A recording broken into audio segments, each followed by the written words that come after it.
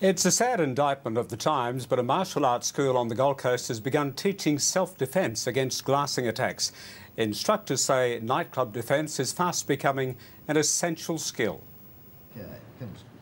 It takes mere moments for an argument to turn violent, but just a second to defuse the whole thing.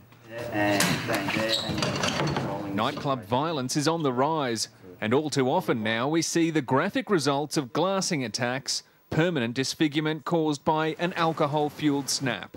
People think that it doesn't happen to them or it won't happen to them, and it does happen, so...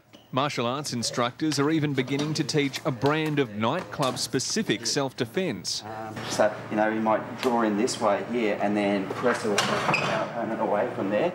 Practical skills like dodging glass attacks or disarming an armed attacker. And then from there I'll hit a straight palm straight down the line that way. You know, self-defence is as important as reading and writing. It is a life skill. Strength doesn't really seem to be a huge factor in it. Like, just, yeah, positioning yourself in the right spot. And...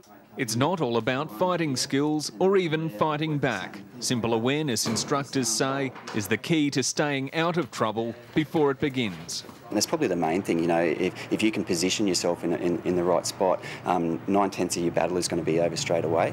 But a few forceful manoeuvres certainly help. Brendan Hockings, 9 Gold Coast News. The Army, the Green Army that is, has been deployed